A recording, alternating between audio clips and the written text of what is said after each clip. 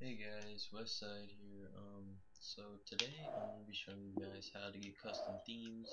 I mean, obviously you just can't buy Kate Upton on Xbox Live and all that shit. But um, so we're gonna get started. Um, I'm gonna go to storage device. Um, my Minecraft will be my one. Um, so basically you're just gonna want to transfer your profile over. Um, so I already did, but um, that might take a second and uh, so I guess I'll catch you guys over on the PC.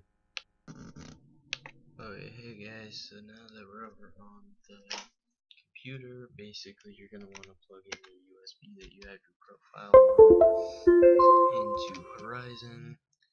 Um, if you guys don't have Horizon, it's um I have a way to get it on one of my other videos, so you guys can check that out. But um, so basically when you first open a Horizon, um, you're gonna see all this um, and you're gonna want to go to tools and then theme creator.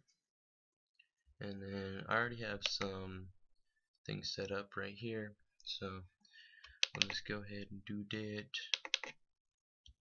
Do that. Oh I clicked it too many times. Okay. And this okay this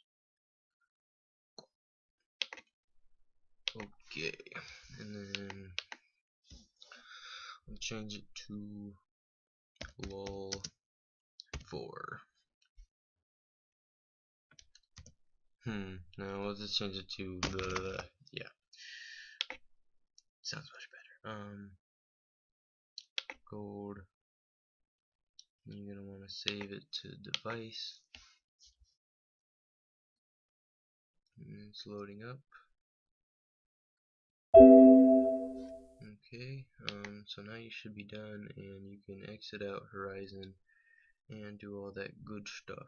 So I'll see you guys over on the Xbox.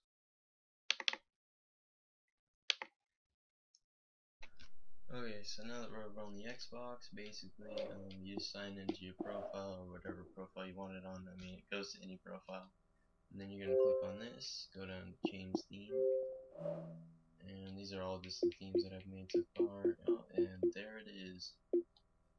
That lol thing that whatever we made but uh and then yeah it was. So that that little overlay thing of that gray is now gold and then there's a wide list of just different things that you can change it to.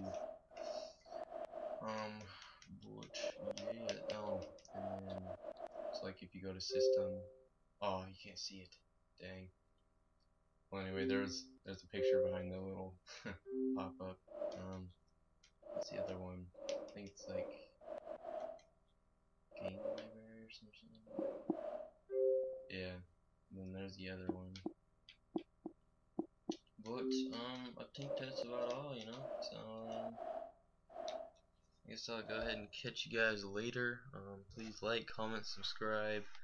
Um, I like doing like stuff about Horizon and modding and just different stuff like that. I mean, it's not too hard. Um, but uh, yeah, so I'll catch you guys on the next one.